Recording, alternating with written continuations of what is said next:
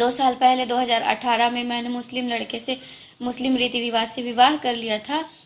अब फिर उसके बाद दो, कुछ साल बाद वो बोलने लगा कि उर्दू अरबी सीखो, ज़बरदस्ती प्रेशर डालने लगे, सब कोई पूरे घर के बोलने लगे थे कि पढ़ती नहीं है, इतने साल से आई है, कुछ नहीं बनता है। मुस्लिम रीति रिवाज हमारे बच्चों से बनता है, तुम भी सीखो। मतलब बोलते थे, उसको बोलते थे, वो मेरे को बोलता था, ऐसे। हमको घर के लोग नहीं बोलते थे, बस वही बस बोलता था, पढ़ाता था अपने से। तो नहीं बनता था। अभी तक मैं उर्दू अरबी नहीं पढ़ पाई हूँ। तो भी कभी मार देता था झापड़ दो झापड़ कि नहीं बनता है, ऐसे है। तो यही सब अच्छा नहीं लगा हमको। तो कल हम आ गए अपने घर। ये धनपुरी में एक महिला ने दो वर्ष पहले, लगभग दो वर्ष पहले एक दूसरे संप्रदाय के व्यक्ति से शादी वादी करी थी और कल उसने थाना धनपुरी में शिकायत दर्ज कराई है।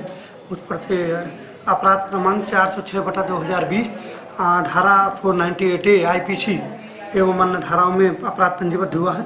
उसमें उस महिला ने बताया है कि आ, उसका पति शादी के बाद से उसके साथ तमाम तरह की प्रताड़ना शारीरिक और मानसिक करता था। उस पर से अपराध पंजीबद्ध हुआ है। और इस आरोप इस अपराध में भी जाँच जारी है। और महिला ने और भी जो विभिन्न प्रकार की बातें बताई हैं उस पर से मध्य प्रदेश धर्म स्वतंत्रता अधिनियम उन्नीस सौ अड़सठ भी उसमें लगाया गया है।